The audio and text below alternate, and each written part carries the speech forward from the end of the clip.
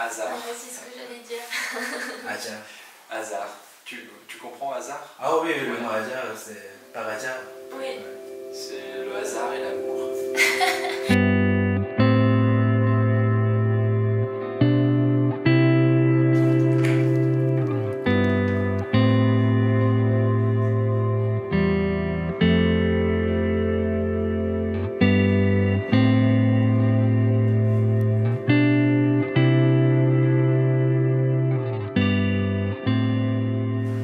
Mais c'est un équilibre en fait. Et c'est aussi ce risque-là qui fait qu'on est tout le temps en activité.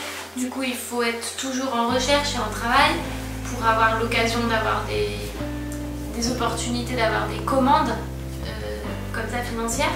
Du coup, c'est un espèce de jonglage entre travailler pour chercher des nouvelles choses pour nous et en même temps se débrouiller pour être visible et continuer à montrer des travaux à nous sur internet et tout ça pour pouvoir avoir des gens qui voient notre travail, qui nous demandent notre travail.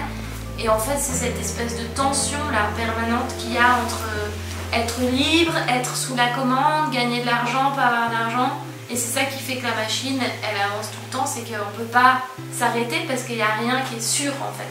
Il n'y a rien qui est défini à l'avance pour nous. Du coup, on s'arrête jamais d'être en mouvement pour chercher comment avancer.